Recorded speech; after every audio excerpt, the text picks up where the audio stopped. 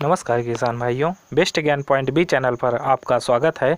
किसान भाइयों, आज की वीडियो में बात करने जा रहे हैं बार क्रॉप साइंस के बहुत ही अच्छे प्रोडक्ट डेसिस हंड्रेड इंसेक्टिसाइड के बारे में।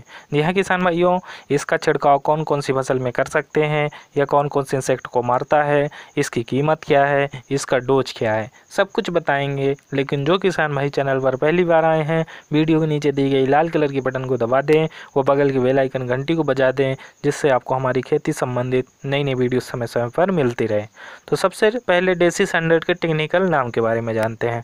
इसमें जो टेक्निकल चलता है, वह है डेल्टा मेथ्रीन हंड्रेड ई अर्थात ग्यारह पैंसठ डब्लू बाई डब्लू में पाया जाता है। अब डेसिस क्या है?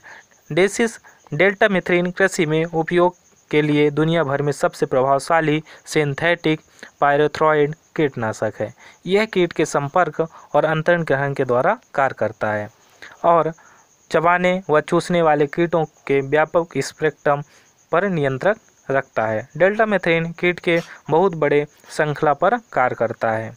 डेसिस कॉन्टैक्ट और सिस्टमेटिक दोनों द्वारा कीट को मारता है। यह कीट के तंत्रिका तंत्र को प्रभावित करता है, जिससे कीट की मृत्यु हो जाती है। इसका उपयोग आप कौन कौन सी फ़सल में कर सकते हैं? तो मुख्य रूप से सोयाबीन, कपास, टमाटर, धान, मिर्ची आदि फ़सल में कर सकते हैं। यह कौन कौन से इंसेक्ट को मारता है? तो मुख्य रूप से तना छेदक फल छेदक पत्ता लपेटा कील वाल वार मील हापर को भी खत्म करता है। इसके डोज की बात करें तो बताई गई फ़सल में इसका डोज ढाई सौ एम प्रति एकड़ जाना चाहिए। वहीं पानी की मात्रा आपको एक एकड़ में डेढ़ सौ से दो सौ लीटर लेनी है।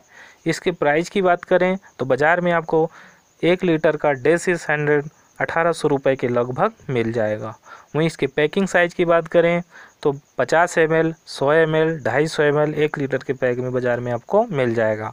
वहीं रिज़ल्ट समय की बात करें तो 12 से 16 दिन तक फ़सल में इसका अच्छा रिज़ल्ट देखने को मिलता है।